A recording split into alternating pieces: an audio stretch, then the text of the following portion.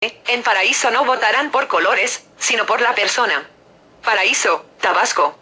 Viernes 25 de mayo.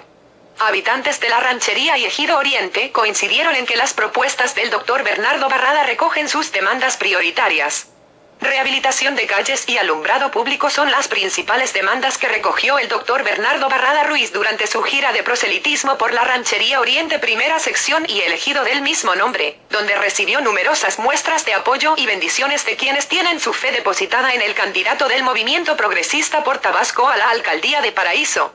Una constante de los recorridos que realiza Barrada Ruiz por las comunidades y colonias del municipio es el cariño que le guardan miles de paraiseños que conocen el trabajo social que ha realizado desde hace casi 30 años dentro de la medicina social y en ese reconocimiento fincan su confianza en que ahora sí sus demandas serán atendidas cuando él administre los recursos de los paraiseños.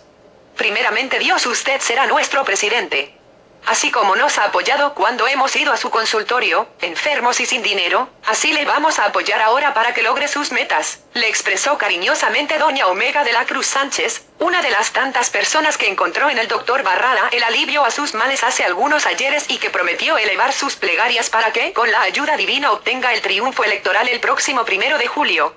No todo fue miel sobre hojuelas.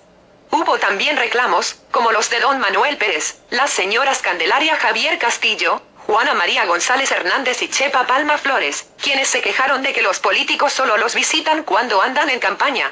Para ellos hubo una propuesta del candidato que diluyó los recelos y se ganó su confianza, al citar que durante su administración tendrá un contacto permanente con la ciudadanía a través de un programa que denominó Sábados Comunitarios, que consiste en llevar al personal del ayuntamiento, directores, regidores, coordinadores y demás funcionarios, a hacer trabajo social de campo,